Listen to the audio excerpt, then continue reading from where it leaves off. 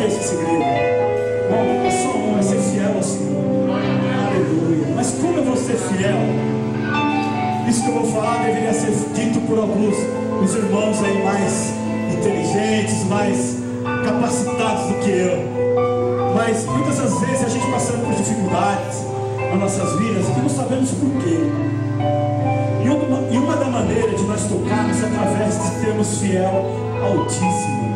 Aleluia. Irmão, como que eu vou, aleluia, tirar o dízimo do salário mínimo? Ah, Irmão, é simples, é só tirar 10%. Aleluia. O Senhor só está pedindo 10%.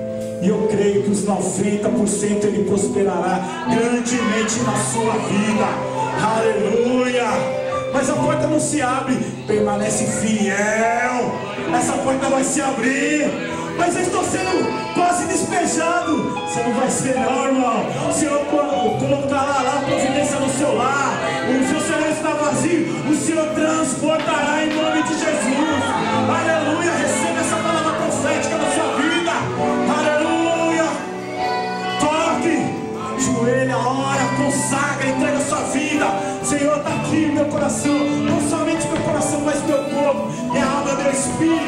tua presença. Aleluia.